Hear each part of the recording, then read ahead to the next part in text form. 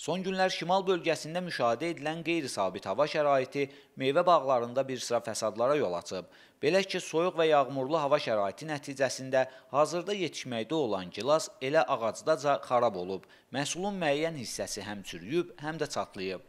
Bu yağışların yağması, temperaturun aşağı olması nəticəsində gilas bitkisinin tez yetişən sortlarında meyvələrin çatlaması müşahidə olunmuş.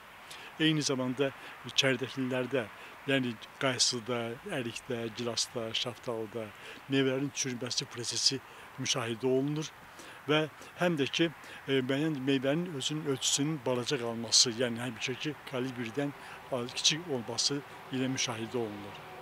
Və bunun nəticəsində də istər-istəməz bu xüsusi çəydəkli meyvə bitkilərinə belə hava şəraiti biraz mənfi təsir göstərmişdir.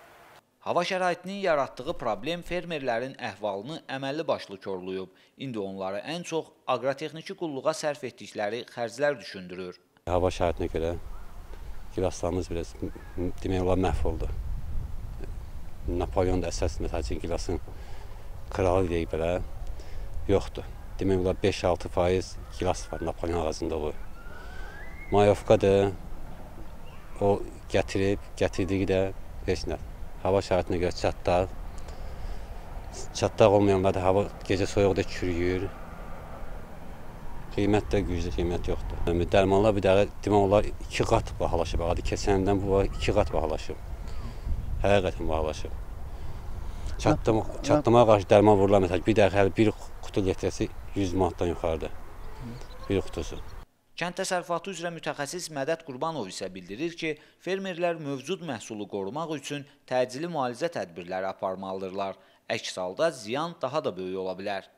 Hal-hazırda fermerlər vəziyyətdən çıxmaq üçün, yəni bu vəziyyətə görə, yəni meyvə çürüməsinin qarşısını almaq üçün mütləq difenikanazol, diafanat metil tərkibli fungisidlərdən istifadə etməlidir.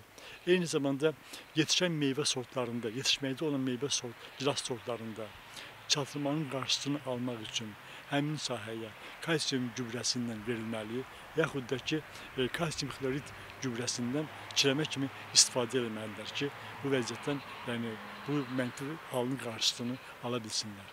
İqtisadçı ekspertlər isə hesab edir ki, kənd təsərrüfatı riskli sahə olduğu üçün fermerlər mütləq şəkildə aqrar sığortadan yararlanmalıdır. Yalnız bu halda zərərdən yayınmaq mümkündür.